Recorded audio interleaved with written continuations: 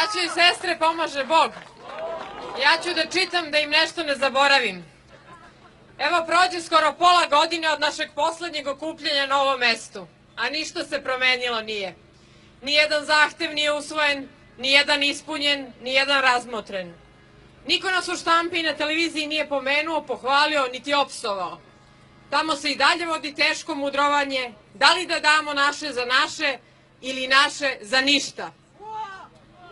Kako da se najbezbolnije po vlast preda 120.000 naše braće i sestara, našeg roda i krvi, onima koji su ih nekada silovali, ubijali i vadili im organe, a sada ih samo kamenuju, pljačkaju i ponekad im zapale kuću. Kako da se od svakog poniženja novinarskim hokus pokusom napravi mudar državnički potez? Kako da se šarenom lažom, poput nekakve zajednice srpskih opština ili razgraničenja, zamaskira priznanje monstrum države Kosovo? Kako da se iz srca svih Srba u Srbiji iščupa srpska zavetna zemlja koja je krvlju omeđena i razgraničena? Kako da se zaborave obećanja aktuelne vlasti koje su davali ne bi li uzjahala istu tu vlast? Poništit će potpisivanje ugovora sa Kosovom.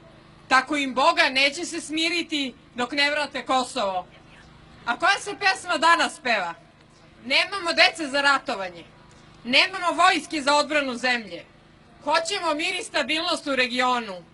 A imate decu za prisilnu vakcinaciju, za gledanje gej parade, za oduzimanje od siromašnih roditelja i izvo stranim državljanima.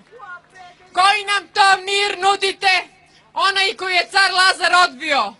Mirno žanjemo da bi mirno mogli da dajemo Turcima.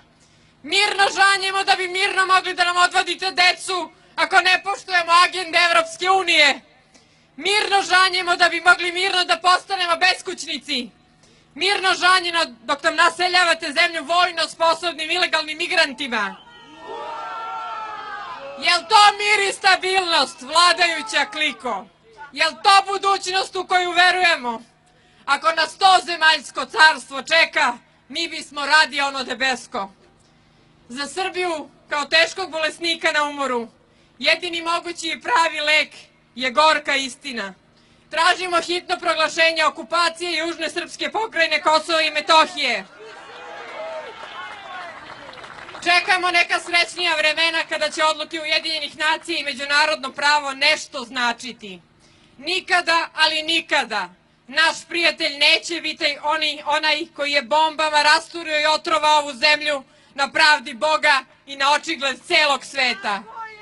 Ne pristajemo na njihova rešenja i na njihove podrške, jer ako Kosovo nije naše, zašto od nas traže da im ga damo? Ako je njihovo, zašto nam ga otimaju? Ako već mogu da ga otmu, zašto se toliko ustručavaju? Živela Srbija!